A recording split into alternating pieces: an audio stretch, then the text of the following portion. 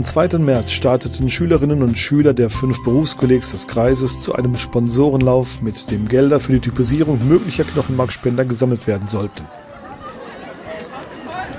Viele laufen, aber noch mehr gehen.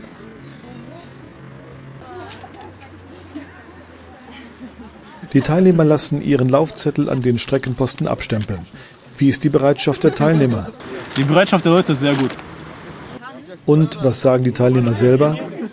Ich laufe mit, weil es anderen Menschen hilft, wenn wir spenden. Das ist natürlich viel wert, oder? Nicht alle sind mit der geeigneten Bereifung angetreten.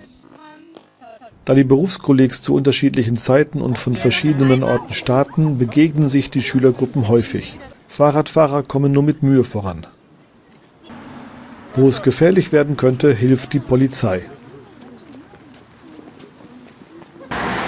Die Leute, die hier mitlaufen, die Schüler, die sind sehr diszipliniert. Die Verkehrsteilnehmer, die anderen Verkehrsteilnehmer, die Autofahrer haben auch für die gute Sache viel Verständnis und das freut uns.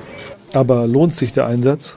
Ähm, wir haben uns hier mit äh, beteiligt, weil wir den Men äh, Menschen helfen wollen, ähm, Spenden zu bekommen, damit sie den Blutkrebs bekämpfen können. Genau, und weil wir halt diese Typisierung an unserer Schule für die DKMS mit den Spenden dafür unterstützen wollen, dass sich jeder typisieren kann. Die Leute kommen ziemlich erschöpft manchmal an, aber manche sind auch ziemlich äh, glücklich und äh, spenden halt gerne Geld. Und ja, wir müssen hier halt die Stempel abstempeln und denen zu trinken geben. Also ich habe 2,40 Euro mit 8 Kilometer erlaufen. Ich habe insgesamt 20 Euro erlaufen. Schließlich wird gerechnet. Aber was ist, wenn die erlaufenen Sponsorengelder nicht reichen? Darauf hat Beate Heseker eine beruhigende Antwort. Es ist so, dass alle Schüler, die hier sich angemeldet haben, sich registrieren lassen wollen, natürlich auch spenden können, egal ob jetzt bei dieser Aktion genügend Geld zusammenkommt oder nicht.